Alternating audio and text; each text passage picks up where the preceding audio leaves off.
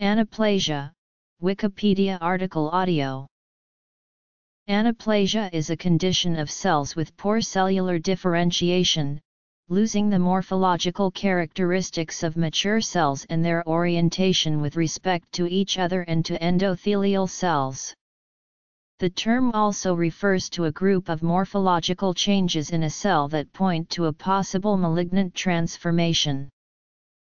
Such loss of structural differentiation is especially seen in most, but not all, malignant neoplasms. Sometimes, the term also includes an increased capacity for multiplication.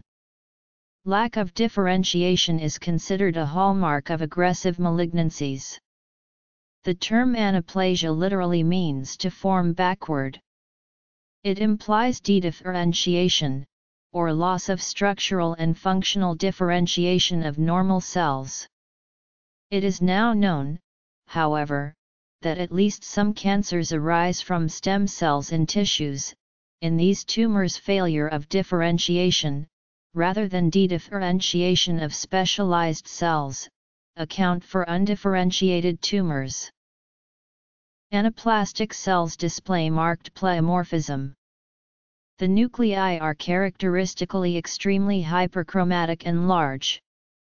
The nuclear cytoplasmic ratio may approach 1 1 instead of the normal 1 4 or 1 6. Giant cells that are considerably larger than their neighbors may be formed and possess either one enormous nucleus or several nuclei. Anaplastic nuclei are variable and bizarre in size and shape.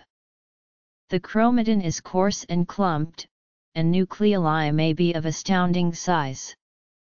More important, mitoses are often numerous and distinctly atypical, anarchic multiple spindles may be seen and sometimes appear as tripolar or quadripolar forms. Also, anaplastic cells usually fail to develop recognizable patterns of orientation to one another. They may grow in sheets, with total loss of communal structures, such as gland formation or stratified squamous architecture. Anaplasia is the most extreme disturbance in cell growth encountered in the spectrum of cellular proliferations.